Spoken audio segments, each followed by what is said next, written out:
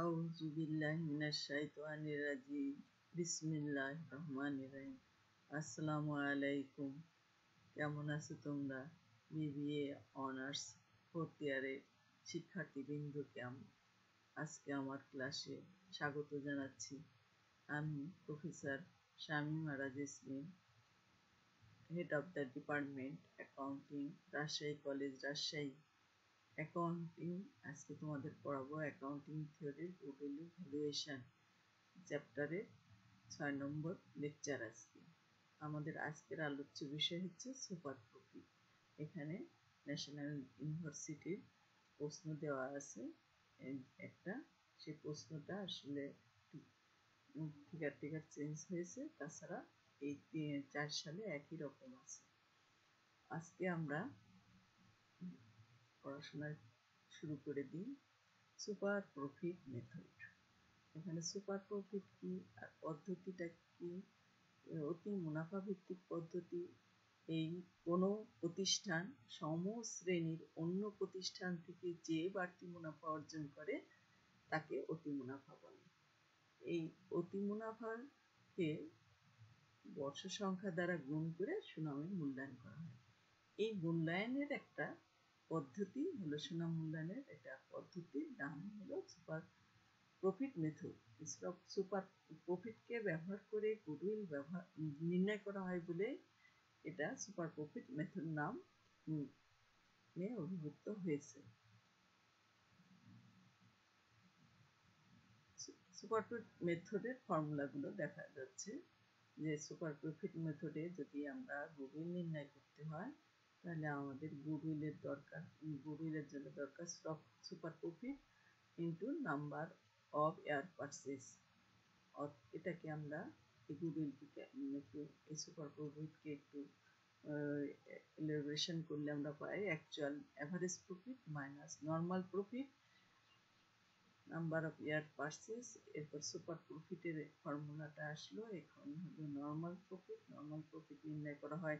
Average capital employed normal rate of return এখানে আমাদের, দেখো সুপার প্রফিট আসছে নাম্বার অফ ইয়ার পারচেস আসছে অ্যাকচুয়াল অ্যাভারেজ প্রফিট আসছে, তারপরে নর্মাল প্রফিট আসছে, তারপরে অ্যাভারেজ ক্যাপিটাল এমপ্লয়েড আসছে রেট অফ রিটার্ন আসছে।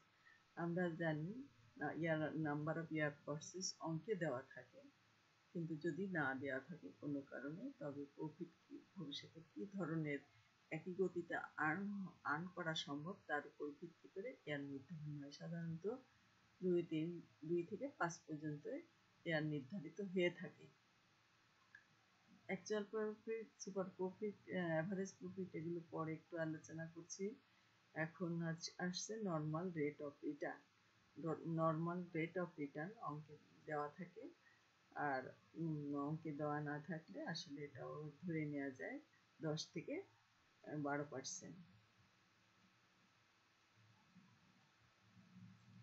আমরা এই অঙ্কটা করতে গেলে আমরা পাঁচটা স্টেপে এই অঙ্কটা করতে পারব। সেই পাঁচটা স্টেপে প্রথমে আমাদের ক্যালকুলেশন করে নিতে হবে অ্যাভারেজ ক্যাপিটাল এমপ্লয় এই অ্যাভারেজ ক্যাপিটাল এমপ্লয়েড করতে এমপ্লয়েড নির্ণয় করতে গেলে আসলে দুটা জিনিসের দরকার। একটা হলো ক্যাপিটাল এমপ্লয়েড আর একটা হলো কারেন্ট ইয়ার প্রফিট আমরা এই সম্বন্ধে ব্যাপক আলোচনা করব। পরবর্তীতে স্টেপ টু স্টেপ টুতে average maintenance profit average maintenance প্রফিটটাও আলোচনা করব।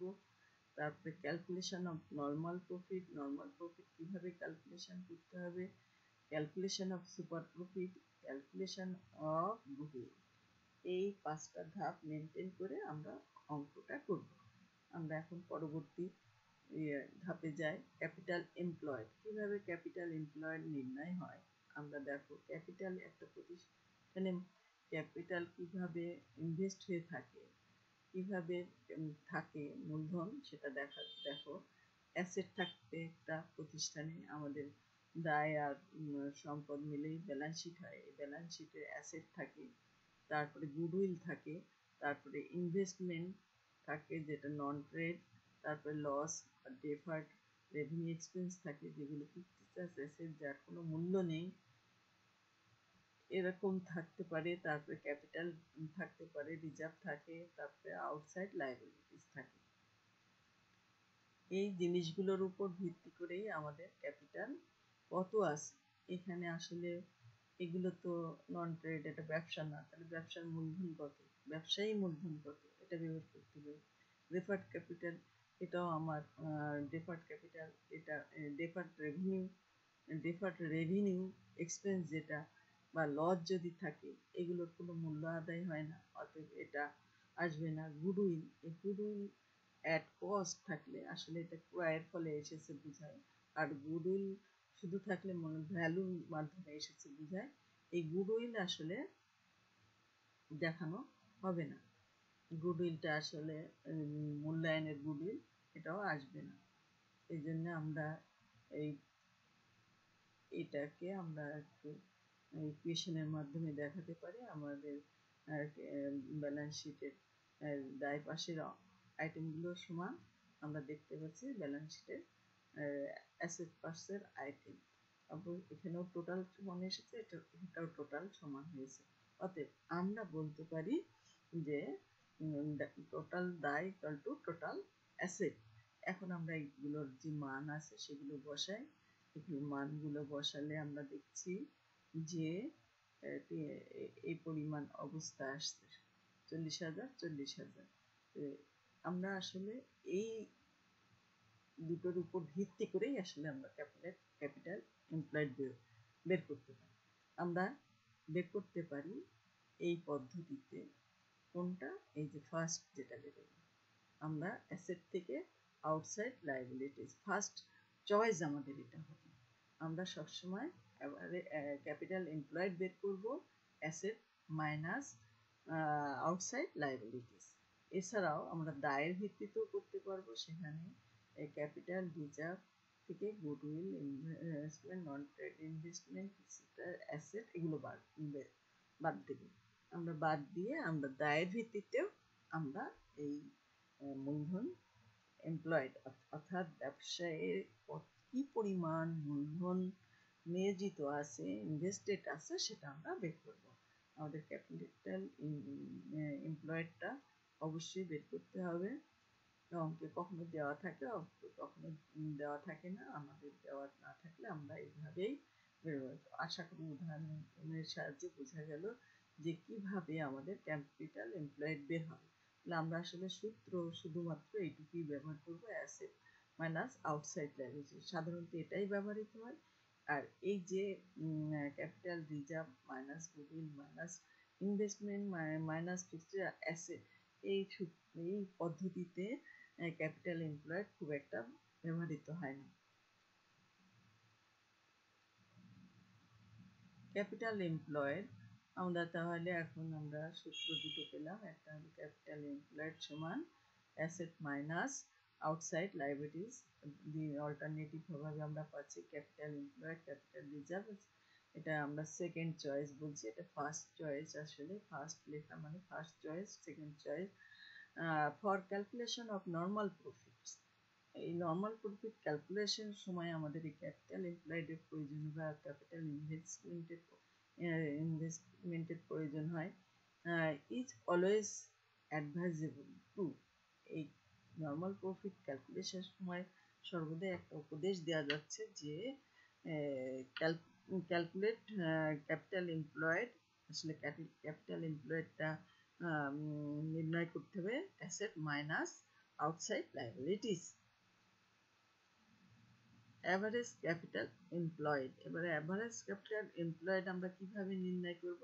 তিনটে ভাবে নির্ণয়, তিনটে সূত্রের মাধ্যমে নির্ণয় করা হয়। ওপেনিং ক্যাপিটালের সাথে half of the current year profit দ্বিতীয় হচ্ছে ending capital minus half of the current year profit average capital employed এটা হলো opening capital and ending capital ভাগ টু এভাবে আমরা বের করতে পারি, আমরা একটা উদাহরণের সাহায্যে এই জিনিসটা বুঝে নিই। দেখো এখানে ওপেনিং ক্যাপিটাল আছে আট লাখ প্রফিট অর্জন হয়েছে বছরে এক লাখ, তাহলে ক্লোজিং ক্যাপিটাল দাঁড়াচ্ছে নয় লাখ। আমরা নিশ্চয়ই ক্যাপিটাল ইনভেস্ট বলতে এটাও নেব না capital invest average capital invest বলতে এটাও নেব না। অ্যাভারেজ এটাও হবে না, এটাও হবে না।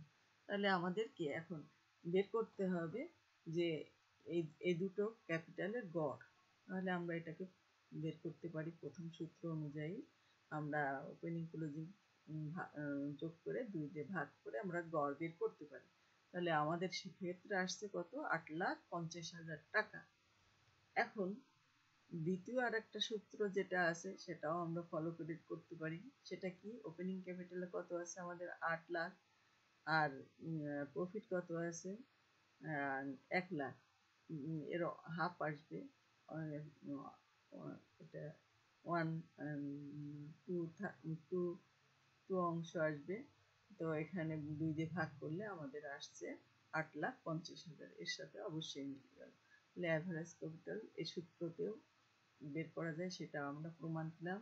তারপরে আমরা দেখাচ্ছি ক্লোজিং ক্যাপিটাল নিয়ে আমরা অ্যাভারেজ প্রফিট নির্ণয় করতে পারি। ক্লোজিং ক্যাপিটাল আমাদের নব্বই হাজার।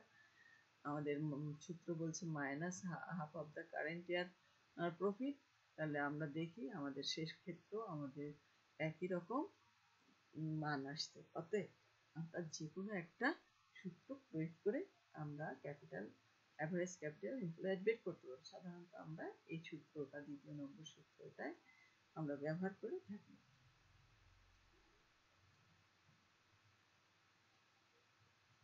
ফিউচার মেনটেনেবল প্রফিট আমাদের ফিউচার মেনটেনেবল প্রফিটটা কীভাবে আসে? আমরা এটা আগের ক্লাসেও আলোচনা করেছি, এখন আবার করছি। পাস্ট যে প্রফিট থাকবে, সেই প্রফিটের সাথে আমরা কিছু অ্যাডজাস্টমেন্ট করব।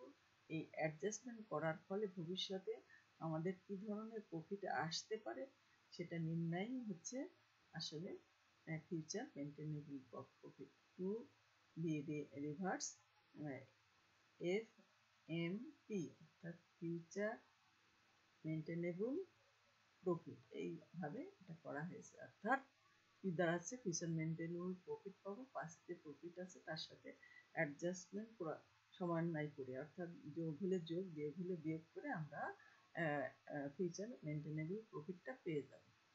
এই কি কি বিষয়ে আমাদের যোগ বিয়োগ হবে সেটা আমরা দেখাচ্ছে। অ্যাবনর্মাল আইটেম যেমন গেন অ্যাবনর্মাল গেন এটা প্রতি বছর আসবে না, এটা তাহলে যোগ হয়ে যাবে অ্যাবনর্মাল লস এটাও প্রতি বছর আসবে না, এটা যেহেতু গেন হলো যোগ করা হয় বলে প্রফিট বেড়ে থাকে, এই জন্য মাইনাস করে কমাতে হবে লস হলে প্রফিট কমিয়ে দেওয়া হয়ে যায়, এই জন্য এটাকে অ্যাড করে নিয়ে করতে হবে। আর কিছু উদাহরণ দেওয়া হলো অ্যাবনর্মাল গেন অ্যান্ড লসের লস হচ্ছে, এটা থাকছে। লসগুলো দেওয়া হলো এটা স্টক লস হতে পারে, আগুনে পুড়ে, চুরির মাধ্যমে প্রফিট অ্যান্ড লস হতে পারে অ্যাসেট বিক্রির ফলে। তারপরে ইন্স্যুরেন্স কম্পেনসেশন বিমার ক্ষতিপূরণ পাওয়া যেতে পারে। এ সমস্ত মিলে আমাদের এই অ্যাবনর্মাল গেন অ্যান্ড লস হয়। এর ফলে প্রফিটে যে প্রভাব পড়ে সেটা সমন্বয় করা হয় গেন হলে মাইনাস করে আর লস হলে প্লাস করে। নন ট্রেড ইনকামস আমাদের যেগুলো ইনভেস্টমেন্ট নন ট্রেড সেখান থেকে আমরা স্টক আর যদি আমরা ইয়ে করে থাকি, তাহলে ডিভিডেন্ড রিসিভ পাবো। আর যদি ঋণপত্র ক্রয় করে তাহলে ইন্টারেস্ট রিসিভ হবে।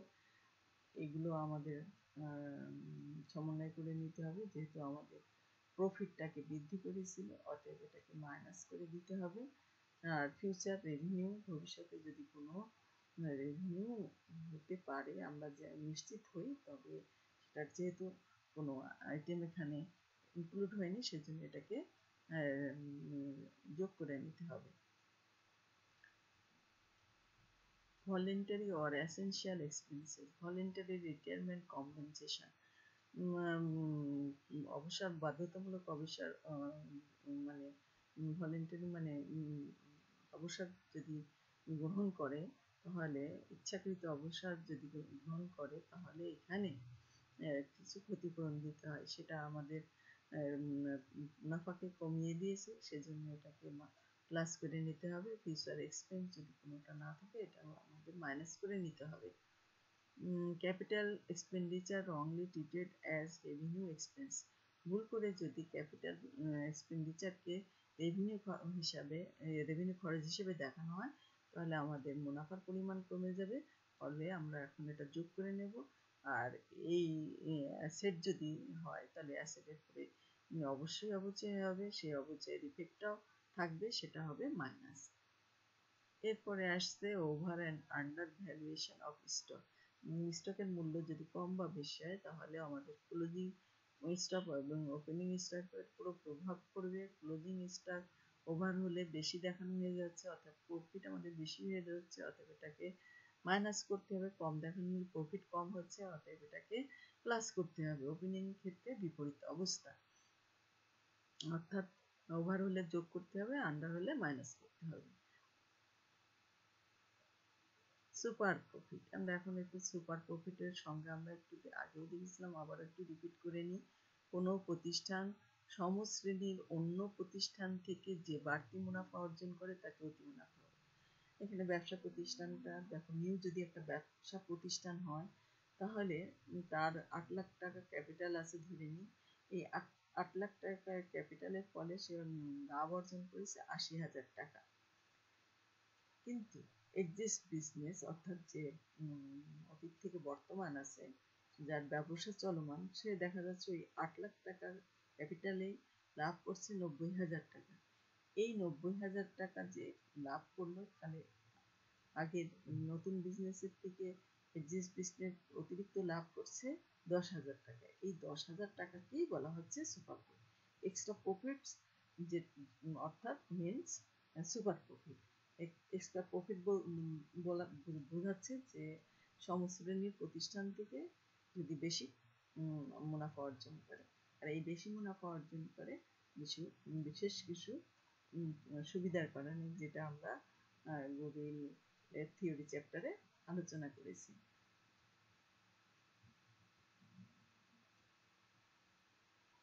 আমরা এবার সুপার প্রফিট মেথড মেথডের কিছু অঙ্ক দেখি।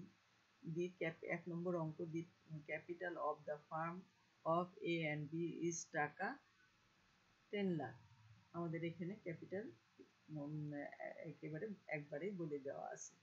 And the market rate of interest is টাকা টেন ফিফটিন পার্সেন্ট এবং মার্কেট রেট বলতে আসলে এটা নর্মাল প্রফিট রেট এই নর্মাল প্রফিট রেটের বিভিন্ন সময় বিভিন্ন নামে থাকবে। এখানে যেমন আছে market rate of interest annual salary to be to the partners is টাকা এত ইচ যেটা আসলে এটা হিসাবভুক্ত হয়।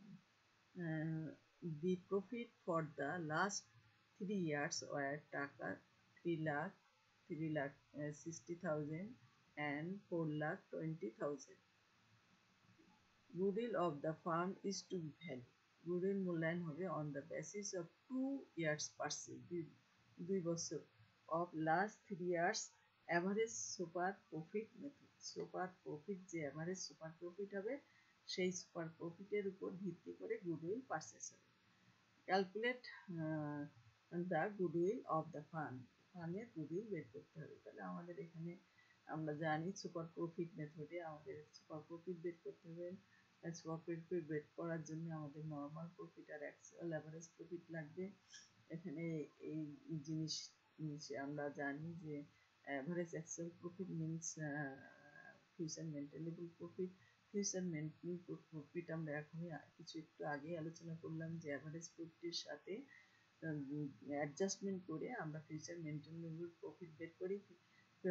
এই এই তিনটা মুনাফার ভাগ, যোগ করে তিন দিয়ে ভাগ করলে যে অ্যাভারেজ প্রফিট পাবো, তার সাথে এই যে এখানে ইজ বলা হয়েছে। মানে প্রত্যেকটা পার্টনারের স্যালারি হচ্ছে ষাট হাজার করে। এখানে দুজন পার্টনার আছে এ বি অতএব আমরা এটাকে ষাট দিয়ে গুণ করলে এক লাখ ষাট, এক লাখ বিশ হবে। এই এক লাখ বিশ আমরা এই অ্যাভারেজ প্রফিট থেকে বাদ দিলে আমরা মেনটেনেবল প্রফিট পাবো। আমরা এখন এখানে গুগল নির্ণয়ের পার্সেস অফ ইয়ার বলে দেওয়া আছে টু ইয়ার্স তাহলে আমরা চলো এখন গুগল নির্ণয়ের ইয়েটা দেখি, সূত্রটা দেখি। অ্যাভারেজ প্রফিট আমাদের নির্ণয় করতে হবে। অ্যাভারেজ প্রফিট আমরা একটু আগে বললাম যে তিনটে যোগ করে ভাগ দিতে হবে। তিনটে যোগ করে ভাগ দিলে আমাদের অ্যাভারেজ প্রফিট এসে যাবে। আমরা অ্যাভারেজ প্রফিট পাচ্ছি তিন লাখ ষাট হাজার। অ্যাভারেজ মেনটেনেবল প্রফিট এটা আগে বের করতে হবে। Average profit minus adjustment adjustment এখানে শুধুমাত্র একটাই আছে, সেটা হলো স্যালারি এখানে দেখা যাচ্ছে যে অ্যাভারেজ প্রফিট আছে আমার তিন লাখ ষাট হাজার, আর অ্যাডজাস্টমেন্ট করতে হচ্ছে দুজন পার্টনারের ষাট হাজার টাকা করে স্যালারি তাহলে এখন আমাদের আসছে দুই লাখ চল্লিশ হাজার টাকা। অ্যাভারেজ মেনটেনেবল প্রফিট তাহলে আমাদের প্রথম স্টেপ গেল। এবার দ্বিতীয় স্টেপ হচ্ছে নর্মাল প্রফিট নর্মাল প্রফিট নির্ণয় করার সূত্র হচ্ছে average capital employed into normal rate of return আমাদের নর্মাল রেট অফ রিটার্ন অঙ্কে দেওয়া আছে। আর অ্যাভারেজ প্রফিট ক্যাপিটাল এমপ্লয়েডটা আমাদের বের করতে হবে। আর সেটা প্রয়োজন নেই অঙ্কে, কারণ এটা বলে দেওয়া আছে। এখানে টেন লাখ বলা আছে আর রেটও বলা আছে, অতএব নর্মাল প্রফিট নির্ণয় করা আমাদের জন্য কোনো ব্যাপার না। আমরা দেড় লাখ টাকা নর্মাল প্রফিট পেয়ে গেলাম। এখন সুপার প্রফিট আমরা actual average profit that means average maintainable profit আমাদের অ্যাভারেজ মেনটেনেবল প্রফিট পেয়েছি দুই লাখ চল্লিশ হাজার টাকা। আর নর্মাল প্রফিট পেলাম দেড় লাখ টাকা, আমরা মাইনাস করলে এটা নব্বই হাজার টাকা আমরা সুপার প্রফিট পাচ্ছি। এই সুপার প্রফিটকেই আমরা ইয়ার অফ পার্সেস দিয়ে গুণ করলে আমরা গুডউইল পেয়ে যাব। এখন গুডউইল ভ্যালুয়েশন করা হয়েছে সুপার প্রফিট নব্বই হাজার টু ইয়ার্স পার্সেস বলা হয়েছে, আসছে এক লাখ আশি হাজার গুডউইল আমরা আশা করি এই অঙ্কটা বুঝতে কোনো সমস্যা নাই। দুই নম্বর অঙ্ক G and B had a firm in which they had invested টাকা ফিফটি থাউজেন্ড অ্যান্ড এর একটা ফার্ম আছে যেখানে মূলধন বিনিয়োগ হয়েছে পঞ্চাশ হাজার টাকা। On an average the profit were টাকা সিক্সটি থাউজেন্ড গড়ে দেখা যাচ্ছে প্রফিট হচ্ছে ষোলো হাজার টাকা। The normal rate of return in the industry is fifteen percent এখানে normal rate of return directly বলা আছে। তাহলে আমরা, আমি একটু আগেই বললাম যে নর্মাল রেট অফ রিটার্ন বিভিন্ন নামে থাকবে, বুঝে নিতে হবে। Goodwill is to be valued at four year purchase চার বছর প্রাইম ফোর ইয়ার পার্সেস বলা হয়েছে।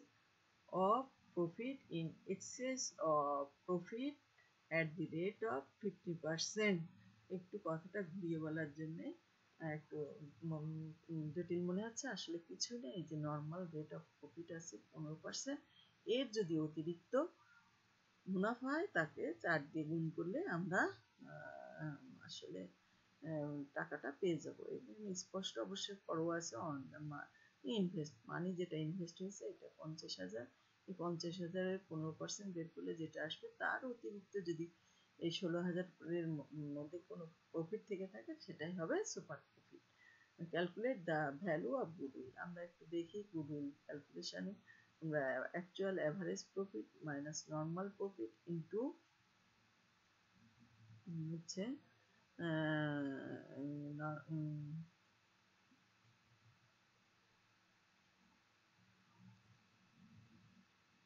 এখানে আসলে actual profit minus normal profit বাদ দিলে আসলে সুপার প্রফিট পাওয়া যায়। এবারে এখানে সুপার প্রফিট না লিখে একবারে এইভাবেও যে গুডউইল নির্ণয় করা যায়, সেটাই সূত্র অনুযায়ী এখানে দেখানো হচ্ছে। অ্যাকচুয়াল অ্যাভারেজ প্রফিট অঙ্কেই বলে দেওয়া আছে, ষোলো হাজার। আর মূলধনে বলে দেওয়া আছে এবং রেটও বলা আছে। অতএব আমরা নর্মাল প্রফিটটা ক্যালকুলেশন করতে পারব খুব ইজিভাবে আর ইয়ার পার্সেসও বলা আছে। তাহলে আমাদের নর্মাল প্রফিট আছে সাত হাজার পাঁচশো। এখানে বাদ দিলে আমাদের পাচ্ছি সুপার প্রফিট পাচ্ছিল আট হাজার পাঁচশো। ইন্টু ফোর ইয়ার তাহলে গুডউইল আমরা পাচ্ছি চৌত্রিশ হাজার টাকা। অঙ্ক তিন total capital of the firm of Salek Malik and মেঘনা ইজ টাকা ওয়ান লাখ তাদের তিনজনের মূলধনের পরিমাণ হচ্ছে এক লাখ টাকা। And the market rate of interest is fifteen percent অর্থাৎ নর্মাল রেট অফ রিটার্ন হবে পনেরো percent net profit for la, the last three years were taka তিরিশ thirty thousand thirty six thousand and forty two thousand goodwill is to be valued towards purchase of the last three years এখানে two years purchase বলছে? Super এই super কথাটা বলে বলেছে কখনো, এটা বলে, কখনো বলে না। Calculate the goodwill of the firm goodwill আমরা ক্যালকুলেশন করতে পারি, ওই সূত্র ফেলে যে actual profit minus normal profit অর্থাৎ সুপার প্রফিট আমরা জানি যে actual average profit minus normal profit মানে সুপার প্রফিট আমরা একবারে যদি আমরা সূত্র প্রয়োগ করে অঙ্ক করতে চাই, তাহলে আমরা এভাবে করতেই পারি। আমরা একুশ হাজার টাকা পেয়েছি, পরে ক্যালকুলেশন করে দেখানো হচ্ছে। আমরা গুণ দিলে এটা এসে যাচ্ছে সুপার প্রফিট আমরা কীভাবে সুপার প্রফিটটা পাচ্ছি অ্যাভারেজ প্রফিট পাবো আমরা? যে তিন বছরের মূল প্রফিট দেওয়া আছে, সেটাকে যোগ করে তিন দিয়ে ভাগ করলে আমরা অ্যাভারেজ প্রফিট পেয়ে যাব। আমাদের অঙ্কে নর্মাল প্রফিটের হাত দেওয়া আছে, টাকার পরিমাণও দেওয়া আছে, এটাও আমরা ক্যালকুলেশন করে নেব সহজেই। তাহলে আমাদের এই দুটোর মাধ্যমে যোগ করলে আমরা পাবো একুশ হাজার টাকা সুপার প্রফিট এখানে একুশ হাজার টাকা সুপার প্রফিট লেখা হলো। এভারেজ প্রফিট মাইনাস এই এর সূত্র থেকে যেহেতু এটা আসছে, তাহলে আমরা এই ফর্মুলাটা এখানে বসাই দিলাম। একবারে একুশ হাজার। ফলে আমাদের এখানে গুডউইল বের হয়ে গেল। চার নম্বর, আমরা আর একটা অঙ্ক দেখি, বলছে, a business earn and average profit টাকা, অফ টাকা eight lakh during the last few years দেখা যাচ্ছে যে অ্যাভারেজ প্রফিট তারা কয়েক বছর ধরে আট লাখ প্রফিট অর্জন করছে। The normal rate of return of profit in the similar type of business একই ধরনের বিজনেসে টেন পার্সেন্ট তাহলে এখানে অ্যাভারেজ প্রফিট দেওয়া আছে এবং রেটও দেওয়া আছে The total value of the asset and liabilities of the business were taka 22 lakh and 22 lakh, and taka uh, 5 lakh 60 thousand respectively. Calculate the value of goodwill of the firm by super profit method. If it is valued at uh, uh, two half half half hours purchase of super profit super profit আড়াই বছরের গুণ হবে এখানে। Calculate করে আমরা এখানে একটা নতুন জিনিস দেখছি সেটা হলো ক্যাপিটাল এমপ্লয়েডটা সরাসরি বলা নেই এখানে total asset and total liabilities দেওয়া আছে। তাহলে আমাদের ক্যাপিটাল এমপ্লয়েড বা ইনভেস্টেড বের করতে হবে। আমাদের, আমরা সূত্র অনুযায়ী জানি যে আমাদের টোটাল অ্যাসেট থেকে টোটাল আউটসাইড লাইবিলিটি বাদ দিলেই আমরা ক্যাপিটাল এমপ্লয়েড পেয়ে যাব। আমরা সেই সূত্র প্রয়োগ করে আমরা এখানে ক্যাপিটাল এমপ্লয়েড বের করব। আমরা দেখি এখানে নেট অ্যাসেট নেট অ্যাসেট কত আমরা বের করে নিলাম ষোলো হাজার ষোলো লাখ চল্লিশ হাজার। ষোলো লাখ চল্লিশ হাজার টাকা আমাদের আসলে হচ্ছে ক্যাপিটাল এমপ্লয়েড এই ক্যাপিটাল এমপ্লয়েড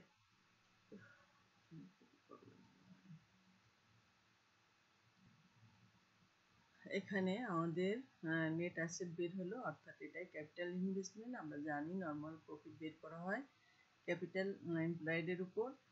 ক্যাপিটাল এমপ্লয়েড হচ্ছে আমাদের ষোলো লাখ চল্লিশ হাজার। ষোলো লাখ চল্লিশ হাজারের টেন পার্সেন্ট বের করলে এক লাখ।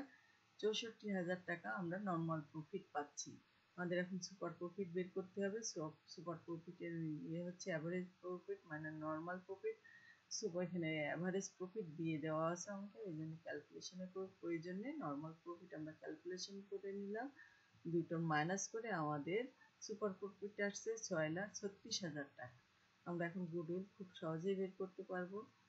ইয়ার অফ পার্সেস গুণ করে সুপার প্রফিটের সাথে আমরা ইয়ার অফ পার্সেস গুণ করে আমরা গুডউইল বের করব। আমাদের গুডউইল আসলো পনেরো লাখ নব্বই হাজার টাকা।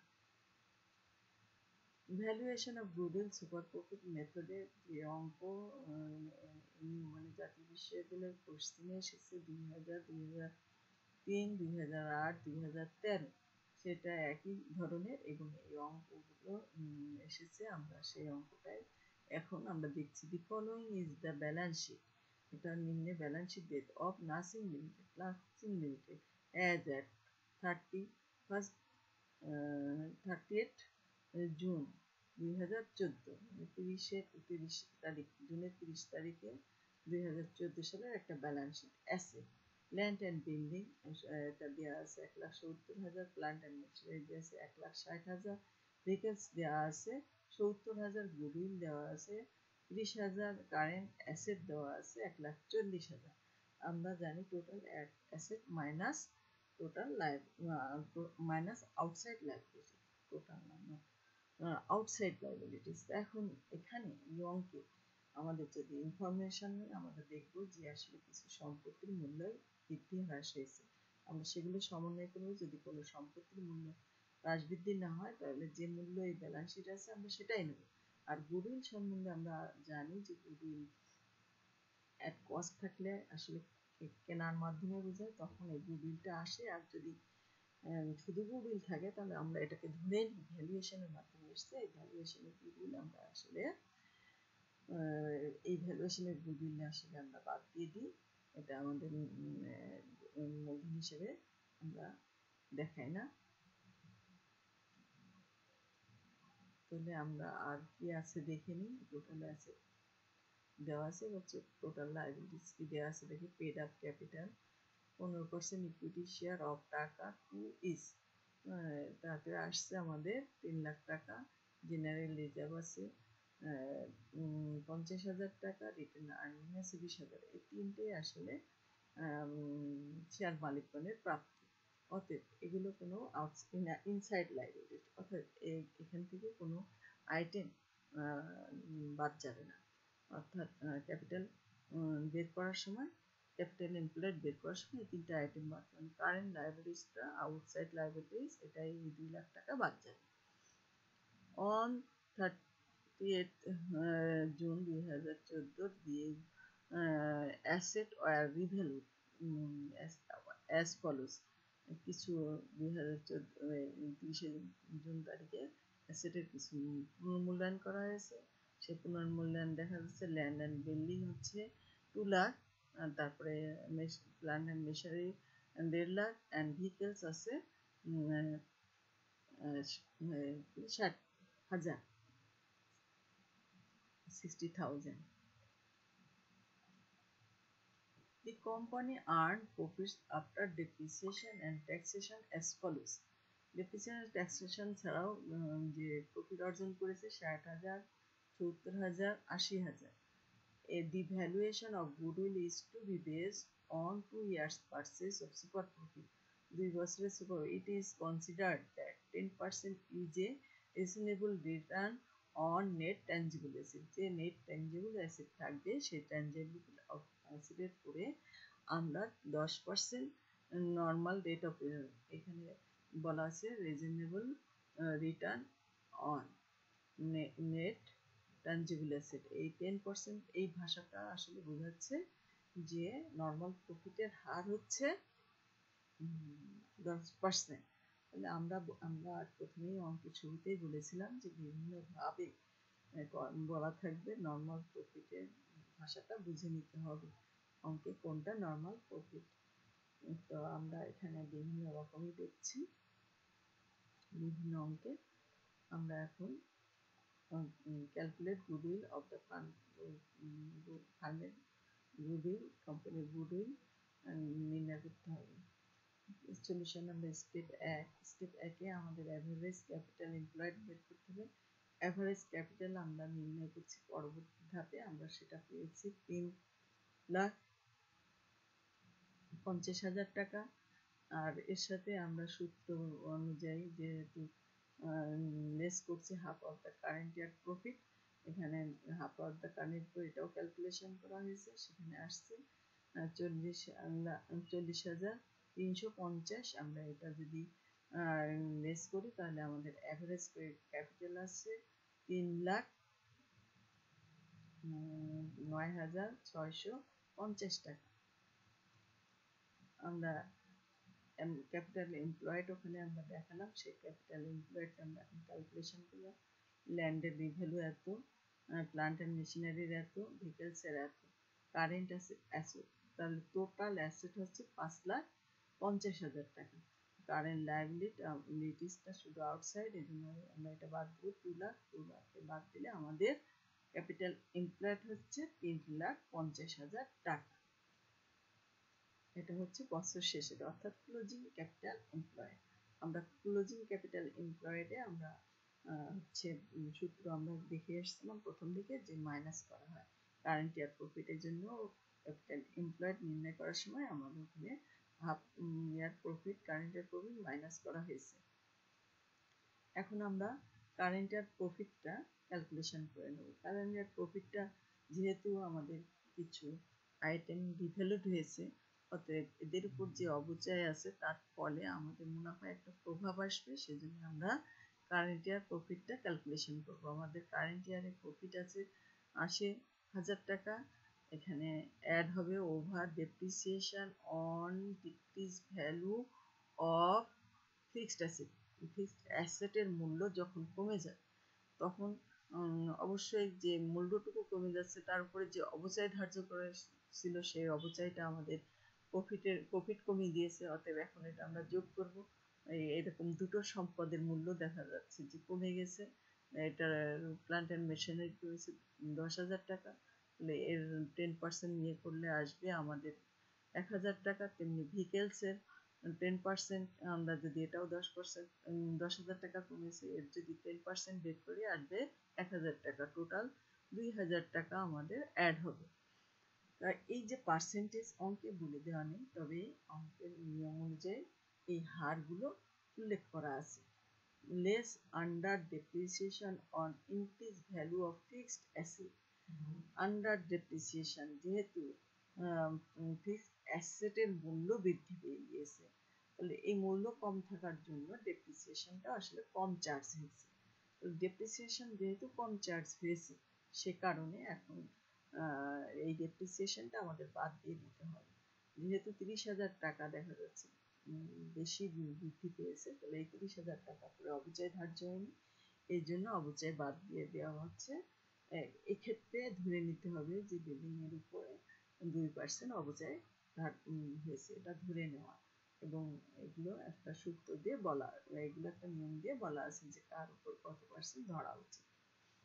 আমরা এখানে ছয় হাজার টাকা, তাহলে মাইনাস হবে, তাহলে অ্যাড হবে দুই হাজার, তাহলে আসলে প্রকৃতপক্ষে চার হাজার টাকা এক লাখ, এক সরি এক হাজার চারশো টাকা, অর্থাৎ চোদ্দশো টাকা আমাদের অ্যাড হবে। কিন্তু আমাদের এখানে ট্যাক্স আছে। আমাদের ট্যাক্স আসলে পঞ্চাশ পার্সেন্ট বাদ দিয়ে তাহলে আমাদের প্রফিটের সাথে অ্যাড হচ্ছে আমাদের সত্তর হাজার টাকা। এইগুলো সাত সাতশো টাকা। প্রফিট প্রফিটের সাথে আমাদের অ্যাড হচ্ছে সাতশো টাকা। তাহলে আমাদের প্রফিট কারেন্ট ইয়ারে আসলো আশি হাজার সাতশো টাকা।